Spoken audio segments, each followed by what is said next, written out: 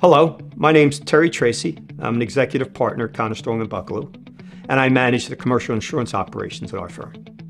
As we're talking about diversity and inclusion, I want to take a few minutes and talk to the group a little bit about what some of the important items are. And from an inclusion standpoint, what is really important is creating opportunities. So when I look at that, and I often will hear people talk about why Conner Strong and Buckelew, and we're committed to creating these opportunities for all of our employees, regardless of their background. So how do you create those opportunities? Well, the financial strength of the firm is very important. So when we look at Conner Strong and Buckelew, we've focused on continuing to grow our organization, and we're going to focus on investing our people, our resources, and technology. So from our standpoint, we're always looking to create more opportunities for our employees. And, and how do you do that and how do you know when it's the right opportunity? So often I will, I'll sit down with employees who've been here for two to three months and talk about what is it about Conner Strong and Buckelew, one, that brought them here, and two, now that you're here, what do you feel are the things that you believe will help you to, to grow and create opportunities in the future? And, and the message is pretty consistent. Basically, our employees are looking for more training and career opportunities. And in both cases, if we've talked to the new employees, they've mentioned that the amount of training that they've received in the first two months of their employment with Conner Strong and Buckelew is more than they received in a year, two years, three years with their prior employer.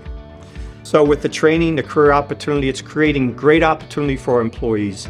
It's allowing us to continue to grow. We believe we've created a great system, a great firm providing opportunity for all employees regardless of the background. As the new employees sit back and look and see that individuals who are now account executives, partners, senior vice presidents, started here as interns or right out of college, they're seeing that career path and seeing the fact that that career path and the opportunity is there for all of our employees. Another important factor to take into consideration when you're talking about diversity and inclusion is the engagement of our employees.